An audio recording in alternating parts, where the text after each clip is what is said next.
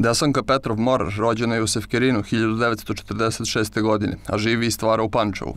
Slikarstvom se bavi od 1963. a izlaže od 1964. godine. Teme i motivi desenih radova su svakodnevica banatskog sela, verovanjem njenih žitelja i religijskim običajima, dok s druge strane, budući sklona fantastici, gradi lični svet simbola u radovima u kojima se prepliću snovi, vizije, košmari. Jubilej, odnosno 60 godina desinog rada, bio je povod da se u Narodnom muzeju predstavi retrospektiva njenog stvaralaštva. 68 samostalni izložba i oko 300 zajednički.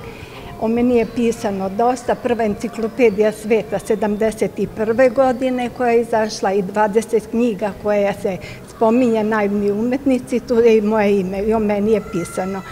E, naš muzej obeležava meni veliku retrospektivu povodom 60 godina i 60 godina kako sam prvi put bila na televiziju, na RTS tako da su dupli ove jubileji.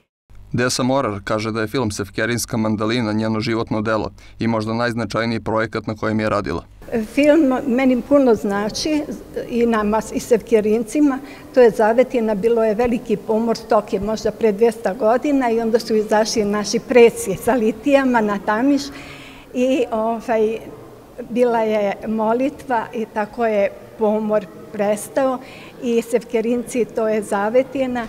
4. avgust Sevkerinci zovu mandalina. Dokumentarni etnološki film Sevkerinska mandalina snimljen je 1994. godine u produkciji Etnografskog muzeja u Beogradu. Režiju su činili Siniša Dimitrijević i etnolog Ljubomir Reljić, nekadašnji direktor Narodnog muzeja Pančevo.